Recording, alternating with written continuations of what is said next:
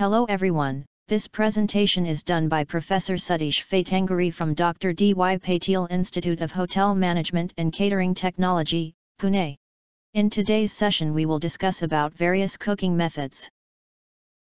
In this slide we will learn about the principles of heat transfer. Transmission of heat occurs by conduction, convection, radiation. In this slide we will discuss about conduction.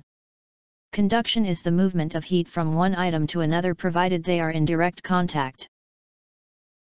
In this slide we will discuss about the convection. Convection is the transfer of heat through a medium either, liquid or gas.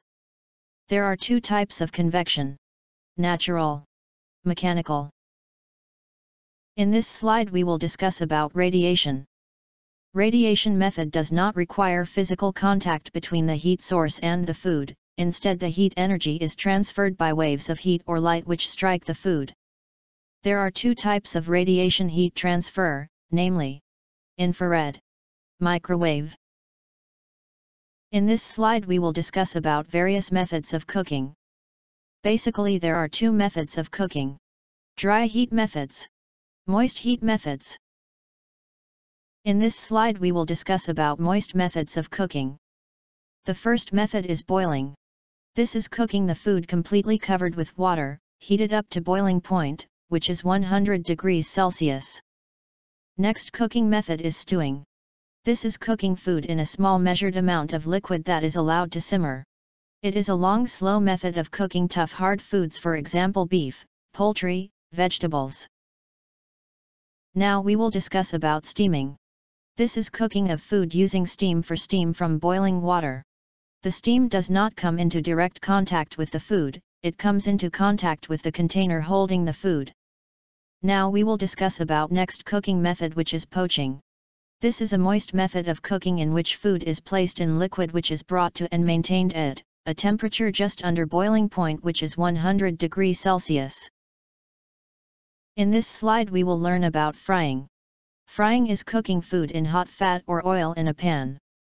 There are two methods of frying. Shallow fat frying. Foods to be shallow fried are cooked in a small amount of fat or oil.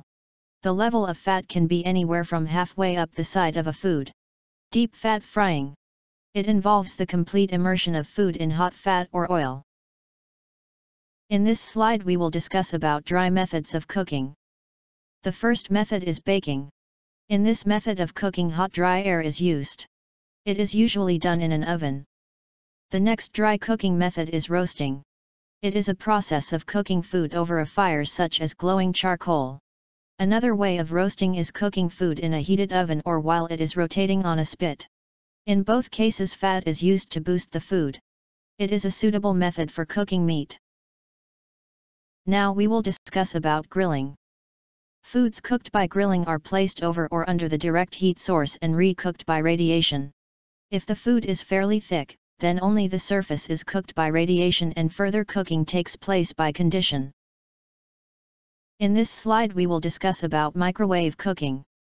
Food cooked by convectional methods use heat transfer by convection, conduction, and radiation.